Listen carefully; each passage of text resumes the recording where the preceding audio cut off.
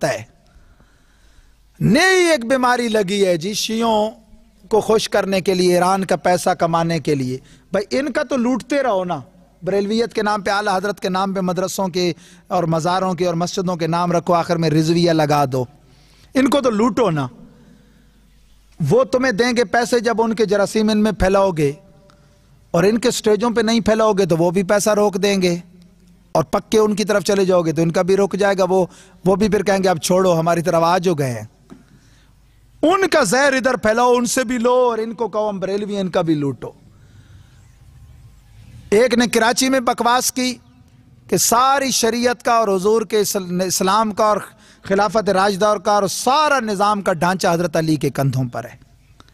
एक चूहे ने कल परसों बकवास की स्टेज इस पे आया हुआ है, वो नेफा टेढ़ा जिसका यहाँ इश्तेहार लगा था तो मैंने एक दफ़ा कहा था, भाई, बचना। याद है? वो कहता है, जी, हुजूर, लिवाउल हमद, जिसके नीचे सारी खिलकत होनी है। ये तो मुसलमानों का आम बच्चा भी जानता है, जो अहले सुन्नत के मिलाद के जलसों में भी आता रहता है प्राइमरी का बच्चा भी। बताएँ अल्लाह की हमद का झंडा क्यामत के मैदान में किसके हाथ में होगा, आप बताएँ? हुजूर के हाथ में होगा ना? हुजूर फरमाते हैं बेयदी लिवाउल हमद आदम व मंदून ताहती। ताहता लिवाई, आदम और सारी खल्क मेरे। वो कमीना बकवास करता है राफजियों को खुश करने के लिए। उस चूहे को मेरा ये पैगाम इंटरनेट के ज़रिए जाना चाहिए। वो बकवास करता है कि हज़रत अली के हाथ में होगा। एक लाख सवा लाख अंबिया उनके झंडे के नीचे सुरें लगा लगा के कौम को गुमराह करने वाले। सवा लाख साहबा उनके क्या किसने होगा। आका जी, आप बताएँ, मेरे नबी ने फरमाया, मेरे यारो वो मेरा हमद वाला झंडा अली के हाथ में। तो फिर मुझे कहने दे, और फिर मुझे कहने देना, सवा लाख नबी अली के झंडे तले।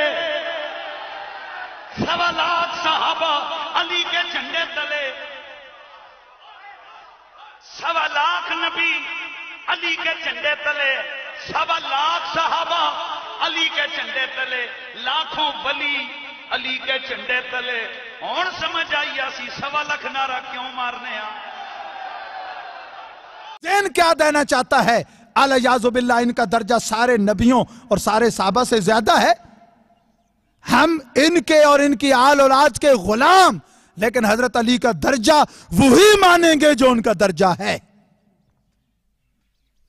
वो अंबिया के भी बाद हैं और खुलाफाए सलासा के भी बाद हैं। जो उनका खिलाफत का दर्जा है, वही उनकी फजीलत का दर्जा है। और दूसरे एक ने सबजादगी की घमंड में यहाँ तक बकवास किया कि हज़रत खातून जन्नत माज अल्लाह हजूर के बाद बशमूल अंबिया सबसे अफजल हैं।